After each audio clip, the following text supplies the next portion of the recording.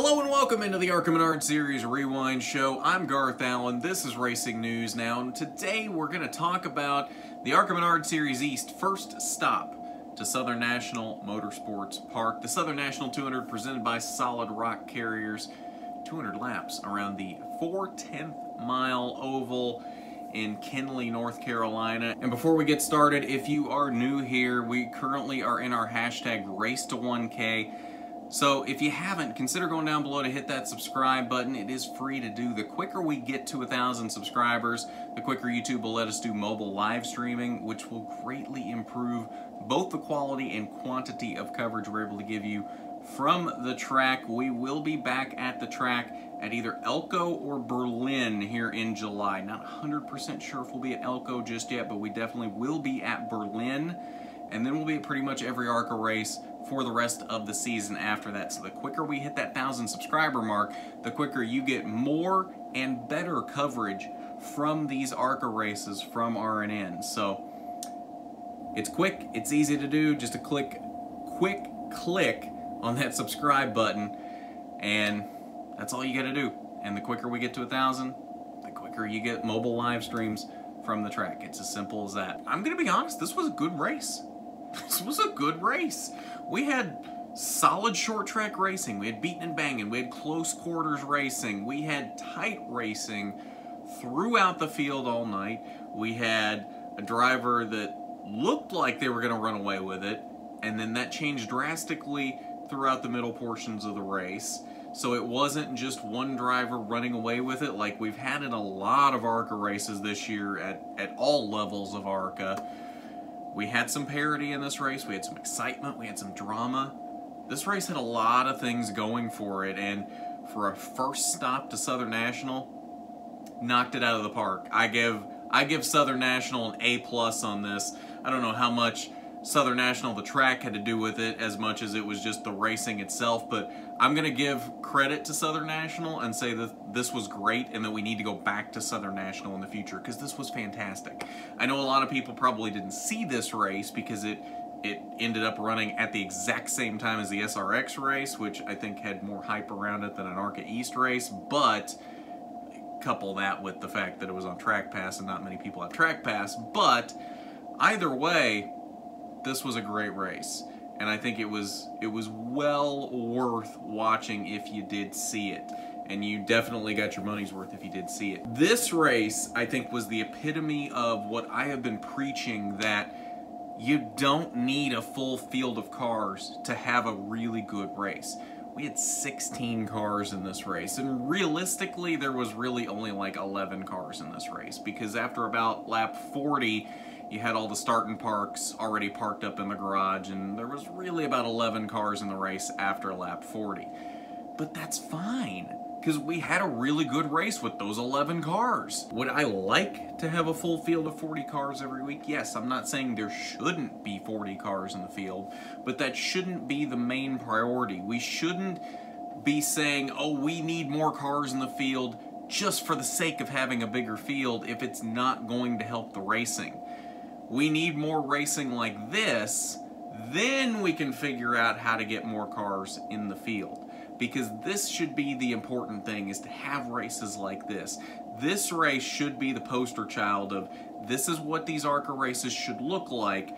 We need the competitiveness like this, then we can worry about getting more cars in the field and bolstering the field that way. Because when the racing looks like this, it doesn't matter if you've got five cars in the race or 40 cars in the race, it's gonna be a good race. That's my biggest takeaway from this race is the exact thing that I've been preaching. Doesn't matter the overall field size in the race, it matters the competitive cars in the race. And we had a lot of competitive cars in this race. Now, there was really only a couple cars I think that probably had race winning speed, but the fact that there was more than one car that had race winning speed was enough to make the race for the win exciting. And then we had really good battles throughout the field behind that. The mid pack was very competitive in this race. And I think this race, again, should be the poster child and should be held up and go, this is what we should be striving for in ARCA right now. Not to get 40 cars in the field just for the sake of having 40 cars. We need racing like this.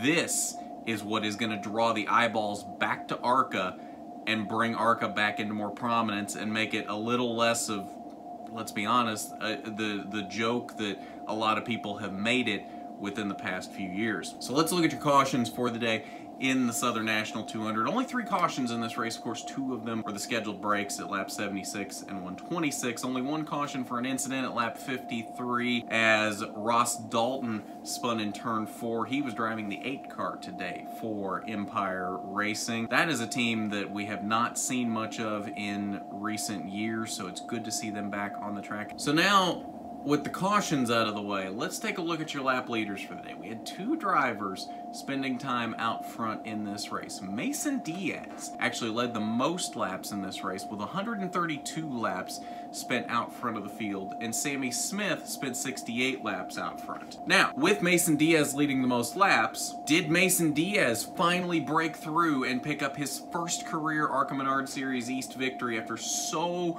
much hardship and so much trying to finally get into victory lane. He's been close a lot of times this season, but that 18 of Sammy Smith has just been too strong in pretty much every race up until this point. Did Mason Diaz finally break through with those most laps led? Or did Sammy Smith lead at the end of the race when it mattered? And the answer to that question is Mason Diaz led the first 132 laps of this race. Sammy Smith, I don't know what adjustment they made on that final pit stop at the break at lap 126, but that car came to life over the last 75 laps. Sammy Smith was not a race-winning car today. Third in practice, so fairly speedy, but not quite as fast as what we're used to seeing out of him, and then he qualified sixth. Drove his way up to second through the early portions of the race, but Mason Diaz had him covered through those first two stints of the race up until the final break at lap 126 and was still running faster lap times up until there was about two to go there before that final break where I noticed Mason Diaz kind of starting to fall off and Sammy Smith may have been starting to get quicker than him right before that final break. And I started to wonder if that might not make a difference as we got into the final portion of the race. I don't know if Mason Diaz's car was just fading as we got later into the race, or if that 18 team led by crew chief Mark McFarland made a great adjustment on that final pit stop, and that's what propelled Sammy Smith to victory lane in this one. His third win of the season in five races, and the fourth time in five races that the 18 car has gone to victory lane in the ARCA Menard Series East. Remember, Ty Gibbs won the Dover race, which was an East race few weeks ago in the ARCA Menard Series East. So that 18 car is on a roll right now.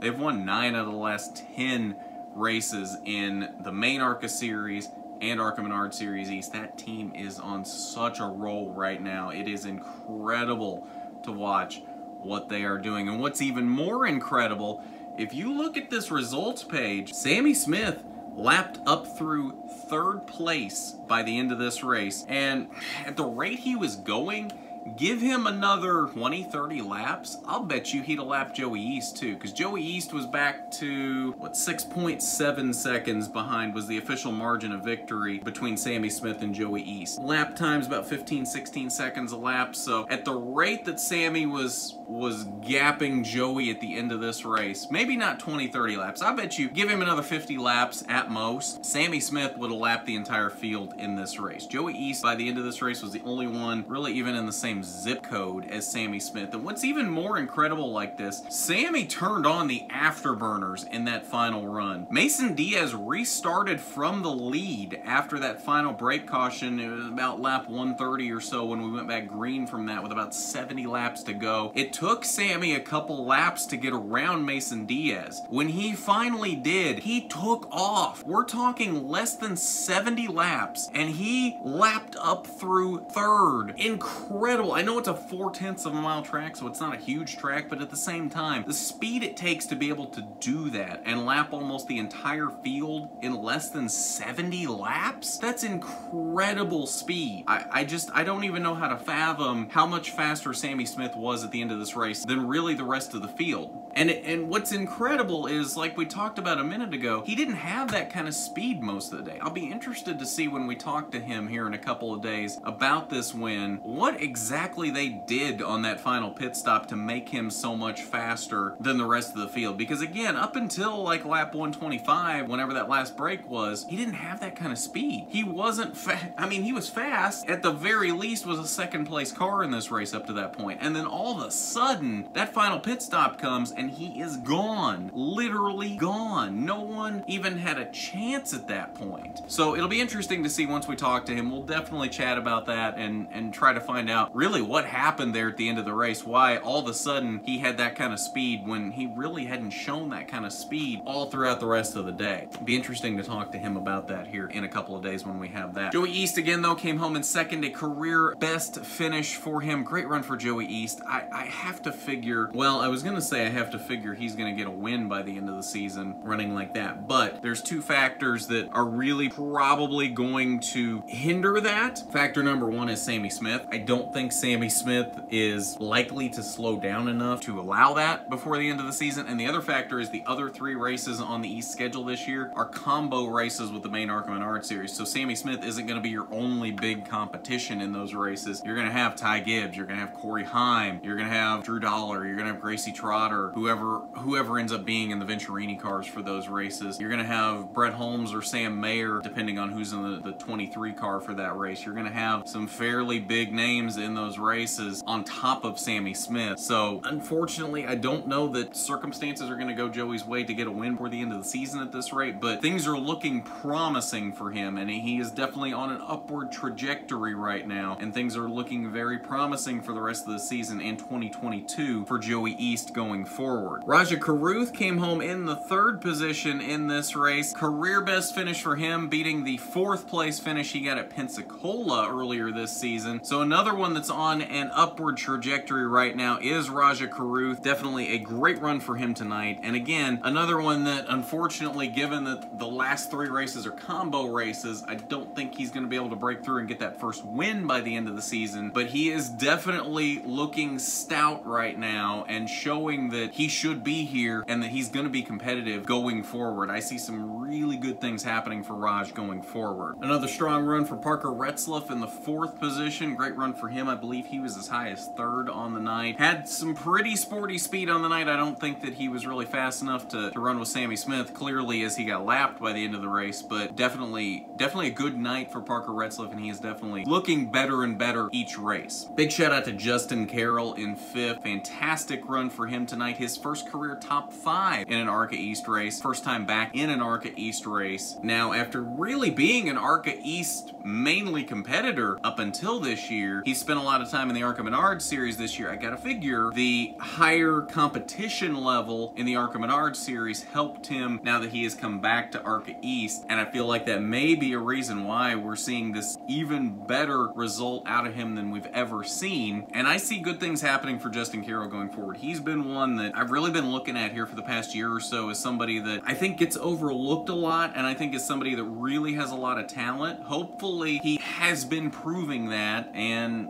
can pick up a ride with one of these bigger teams here soon because he is just in a family owned car right now in that 91 car. So it would be nice to see him get picked up by one of these bigger teams now that he's really starting to prove that he's got some talent. And I think he could do some really good things with one of these bigger teams. Hopefully, he has impressed someone enough up to this point that maybe that will happen. Rest your top 10, Daniel Dye making his debut in the GMS 21 car, came home in the sixth position. I know probably not as good as they would have liked to have been on the night, but definitely showed some speed as high as, did he get up to second at one point? I know he was at least at third. He might have been up to second at one point, but definitely had some speed in this race, but really everybody in there from second down to like eighth or ninth really were really competitive with each other in this race. And for the longest point in this race, Mason Diaz was head and shoulders above the rest of them, but really it was still like second eighth or ninth that was really close. And then it flip-flopped at the end of the race. Sammy Smith ran away, made Mason Diaz fell back into that battle, but for the entire race, that whole like second and ninth group was extremely competitive. So nothing to hang your head over by finishing sixth, as as this whole group right here was very close and swapped positions up and down a lot in this race. Speaking of Mason Diaz, talk about a fall from grace. Led 132 laps in this race, lost the lead with about 70 laps to go, and fell all the way to seventh by the end of this race. I don't know what happened at the end of the race for that 74 car, but clearly not the result that they were looking for after leading so many laps in this race, looking like they were the car to beat for so long today, and then it all just fell apart by the end of the race.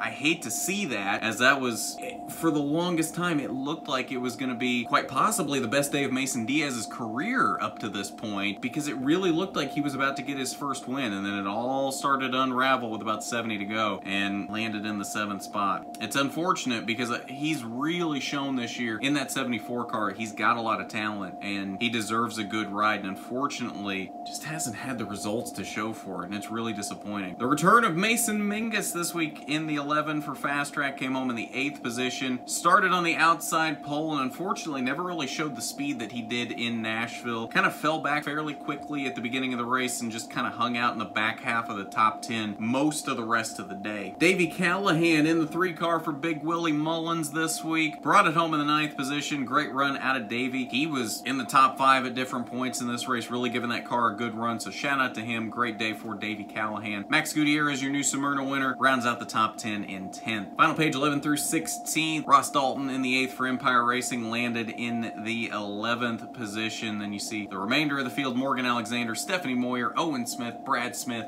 and Wayne Peterson. So that's your results from the Southern National 200.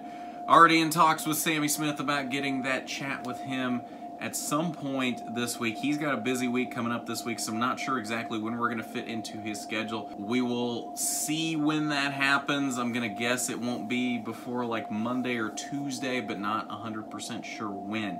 So make sure you are subscribed and you got your notifications turned on. That way you know exactly when we chat with him, and we're definitely going to find out where all that speed came from in those final 70 laps or so because it was incredible the speed that that 18 car had at the end of this race. All right, so let's take a look at your points. Five races into the ARCA Menard Series East schedule for 2021. Three races remaining, all combo races with the main ARCA Menard Series. So we are through all of the standalone races for the ARCA Menard Series East this season, and Sammy Smith, head and shoulders, has been the dominant driver for the first five races this season, winning three of those five and finishing top 10 in every other one of the, in fact, finishing top five in the other two races. 30 points now is the lead for Sammy Smith over Mason Diaz, and unless something catastrophic happens at Iowa, Milwaukee, or Bristol, final three races, the combo races with the ARCA Menard Series, Sammy Smith is on his his way to a 2021 ARCA Menard Series East Championship. There is no way around it at this point unless something crazy happens in these final races. He's just head and shoulders been ahead of everybody else for these first five races. There's no way around it. He 100% has been. So fantastic first five races. Obviously, this is why we run the races. You can't give him the championship yet because you don't know what's going to happen in those final three races. He could just have the worst luck ever in those three races and, and lose the championship championship, but if he continues to do what he's done through these first five races, ain't no way he's losing this championship at this point. Mason Diaz, though, in second right now, minus 30. Pretty good battle here for that second position with Joey Iest and Max Gutierrez, only seven points separating them from Mason Diaz. And you got a pretty good battle for fifth down here. Parker Retzlaff, Rajah Caruth, only one point apart from each other. Daniel Dye, though, after having a bit of a slow start to the season, he is 93 points off of the lead, so he's got about 45 points roughly to get up to that battle with Parker Retzlaff and Rajah Caruth for that fifth spot. That's a lot of points to make up in three races. It can be done, but Daniel Dye kind of there in his own little bubble right now in seventh. Mason Mingus, two starts on the season, and he's already eighth in points. So really good runs out of Mason Mingus so far in those couple of starts of the season. Don't know if we'll see him again for the rest of the season, but either way, two starts, and he's already up to eighth in points. So kudos to Mason Mingus there. And then Dick Doheny and Stephanie Moyer also in the top 10. But that's your point standings following the Southern National 200 from Southern National Motorsports Park.